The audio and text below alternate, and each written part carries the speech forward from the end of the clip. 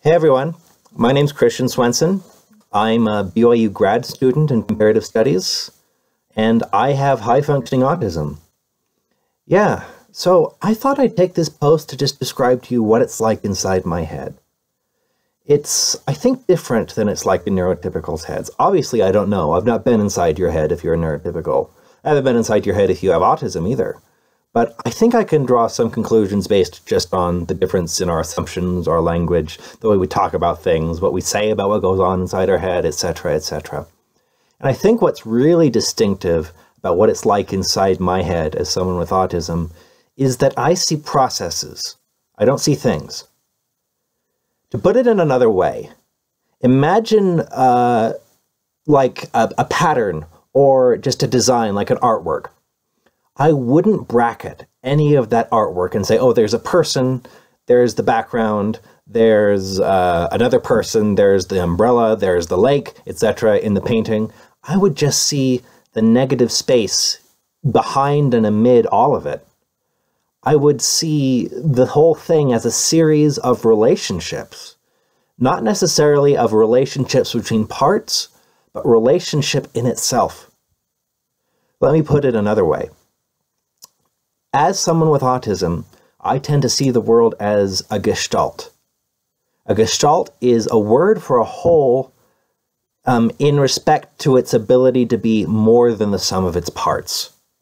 That is, I see the world as a whole. I see it as what is left over when you have cataloged all the parts and you can't say there's something still missing here. I see what's missing. I think people with autism tend to see what's missing there. We don't bracket. That is one thing we cannot do. We don't bracket. We don't say, oh, I'll deal with this later. We don't say, oh, I'm going to press the mute button here. We see all of it. We perceive all of it. We hear all of it. And the problem we have is that we're too or unusually faithful to everything. And this can get to the point where we reject everything. That is what we do when we withdraw inside ourselves, is we think this is too much. This whole hole is too much, so I'm going to withdraw into a smaller hole and just pretend that doesn't exist. Another way to say that is that we can't bracket on a small scale. We're not comfortable bracketing, so what we do is we bracket bracketing. We stick our head in the sand and we pretend that, oh, separateness and and that mute button and and putting things into boxes, that doesn't exist. I'm going to go inside my head where everything is as it is. And that's really a problem because then you aren't connecting, you aren't loving, you aren't seeing other people. And but the problem is is that when you come out of that, it can get really overstimulating because there's all that. There's that bigger whole. And what do you do then? What I found useful is to see things in terms of their relationships and not the things that are related. Let me explain that a bit more. Instead of seeing like people in a room, I will see the dynamics that are being played out. And that helps me a lot because those boxes are a lot bigger, you know? It's a lot more comfortable for me to bracket things in that way because I'm not ignoring as much. I'm not bracketing as much. And then when I do that, I'm able to see things more as they are, as I want to see them, because then I'm not ignoring anything, or not as much anyway.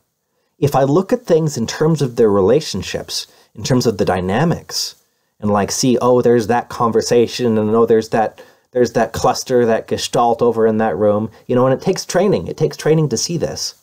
But if you do that, then you can kind of develop a gestalt of gestalts where instead of just like focusing and obsessing on one thing, because that's another way we can withdraw from the whole is obsession, instead of doing that, we develop a kind of matrix in which we can see and hear everything in the context of that matrix. And it's not something you can point at, this matrix. It's like a medium, like air or like space, that instead of looking at the things in that air or that space, you look at that air itself. It's like looking at the background. It's like looking at the screen when you're at a movie theater instead of looking at the movie. That actually isn't unpleasant because then you see the movie with new eyes. Or it's like listening to silence when you're in the middle of a crowded subway station. It's really wonderful because when you get to that point, when you look at the medium behind everything that is in that medium, then everything can be itself. You don't have to bracket anything because everything's already included. I hope that makes some sense. Uh, like I said, I'm not anyone else. I don't know if this applies to all autism, but I talk to a lot of autistic people for whom this is their experience. You know, they they see wholes. They don't want to divide anything. They want to keep everything intact. And that causes us problems. But it can also lead to a lot of blessings because we see things that a lot of other people pass over.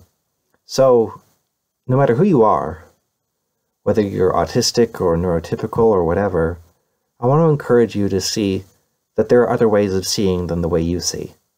And remember that because it'll save you a lot of grief in the long run.